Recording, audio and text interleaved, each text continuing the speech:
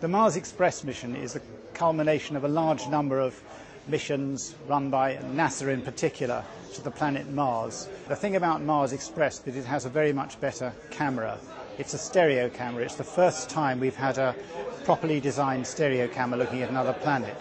So that means we see not only pictures of the surface, but we can make measurements. We can produce maps. We know how high a mountain is. We know how deep a valley is. So we could produce an Ordnance Survey map of the planet Mars. Now, this isn't a mapping camera with film on it, this is a digital camera. So the parts that we've been involved in is helping to design the camera and helping to do the processing of the camera data on the ground. We don't have landmarks on Mars in the same way that we have on the Earth. There's been no surveyors there, at least not so far as we know it. So we have to be able to create reference information about the surface.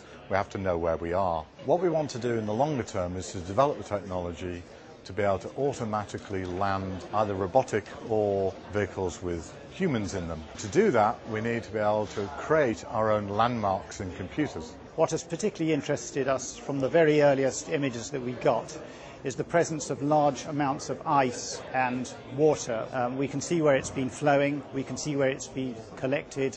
Um, in particular, very soon after the mission began, we found this huge area which is clearly a, a frozen sea very close to the equator. It's about five degrees north of the equator. The water that formed the sea has come from deep beneath the surface of Mars, and we now believe that life could have developed beneath the surface of Mars. Um, and hopefully, if we can land there, we might be able to find traces of life. We've now got the technology to do 3D virtual field geology. We don't have to wait 20 plus years for people to go to the surface. We can show them what the surface actually looks like.